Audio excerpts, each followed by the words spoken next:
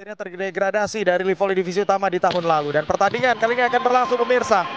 Di set yang pertama, pertandingan antara DKI Jakarta menghadapi Kalimantan Selatan bersama saya Rama Sugianto dan juga Reza Pradita. Poin pembuka tadi didapatkan oleh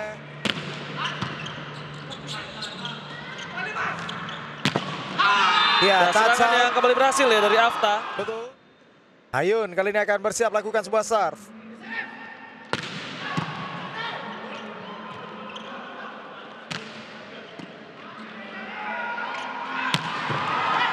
Oh, masih bisa diangkat tadi.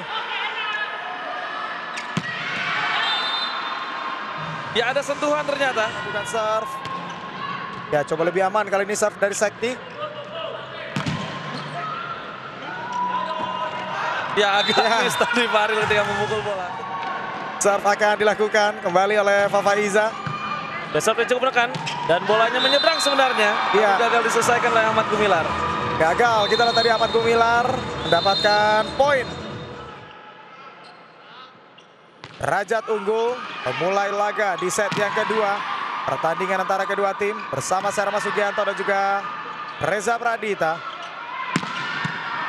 Ya tiga kali tadi serangan, dua melalui Kevin, satu dari Hayun. Bisa diredam tapi kesempatan serangan yang gagal dimanfaatkan oleh DKI Jakarta. Jakoyeri juga belum mendapatkan poin apakah sejauh ini?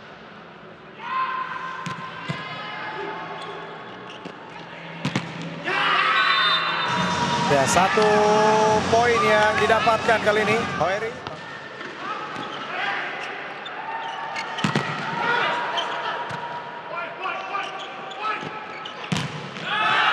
Dan tidak menyeberang tadi Hoeri. Ya, mungkin posisinya saja yang agak beda ya kali ini.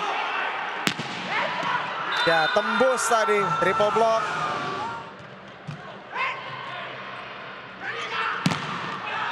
Ya blok yang berhasil. Bahwa mereka nanti ingin memberikan perlawanan yang lebih baik di set ketiga.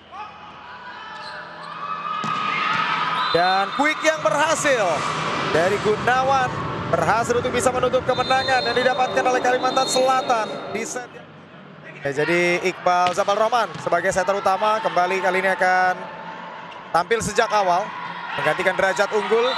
Ya dan sementara kita lihat bagaimana serangan.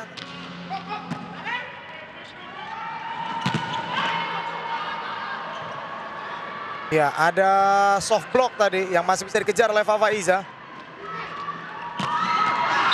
Tapi quick yang berhasil dari Kev.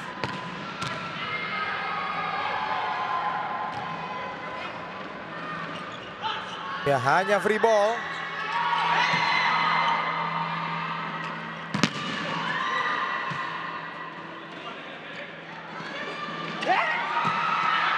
Ya, ada cover tadi yang dilakukan.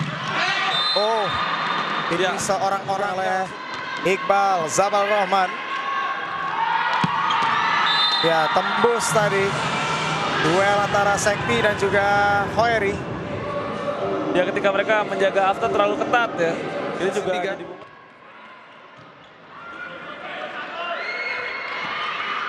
Terbaca tadi upaya dari Hoeri.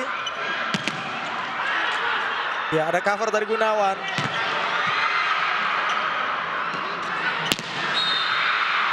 Ya. ada net foul. Ada netball tadi dilakukan oleh pemain dari DKI Jakarta. Ya, kita akan tunggu pemain nomor punggung 12 ya. Ya tapi akan ada challenge. Ya, ini akan coba di